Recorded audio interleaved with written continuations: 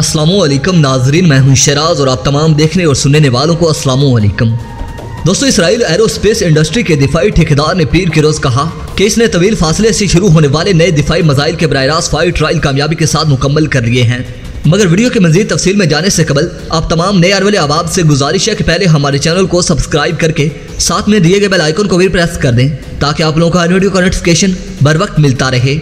तो आइए नाजरीन, चलते हैं अपने टॉपिक की तरफ़। दोस्तों कंपनी ने बताया कि बार्क में तोसीश शुदा रेंज इंटरसेप्टर 150 किलोमीटर की रेंज से हवाई जहाज़ के खतरात लाक कर सकता है। दोस्तों, ये मजाइल बार्क इंटरसेप्टर के फर्म के कुंबे का हिस्सा है। अमूदी तौर पर लॉन्च किया गया है और इसमें एक रॉकेट मोटर एक बोस्टर और एक रडार होमिंग के मतलाशी शामिल हैं। दोस्तों, दूसरे इंटरसेप्टर मजाइलों और रेडार की सलाहियतों के एडजस्ट करके रेंज में तोसीक की गई है। दोस्तों आईएए के सदर और सीईओ लेवी ने टेस्ट के बाद एक बयान में कहा कि मुतफिका लांचर में मुतद मुदाखलत कारों और बारक निज़ाम की मोरसी मोडलेट का इम्तजाज मुस्तबिल के मैदान जंग के लिए एक बेहतरीन रद्द अमल फ्राहम करता है। दोस्तों, कंपनी का कहना है कि बारक निज़ाम मुख्तलिफ़ वसाइल और हदूद से निकाले जाने वाले मुमकिन बेयक वक्त फ़िज़ाई खतरों के खिलाफ एक मरबूत दिफा फराम करता है।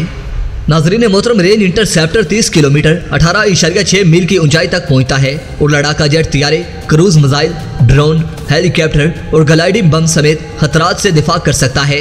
दोस्तों, ये आठ मजाइलों के साथ लॉन्चर में तैनात है और इसे ज़मीन या समंदर पर इस्तेमाल किया जा सकता है। नाजरीन मोहतरम इसराइल एरोस्पेस इंडस्ट्री मुल्क की सबसे बड़ी एरोस्पेस और दिफाई कंपनी है।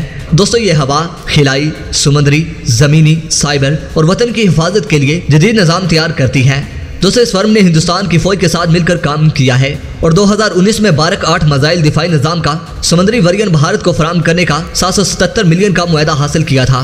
नाजरीन मोहतर में इसके साथ ही इजाज़त चाहूँगा। अपना और अपने अपनों का ढेर सारा ख्याल रखिए और हमेशा नेक दुआ में याद रखा करें। अपने मेज़बान शराज को इजाज़त दीजिए।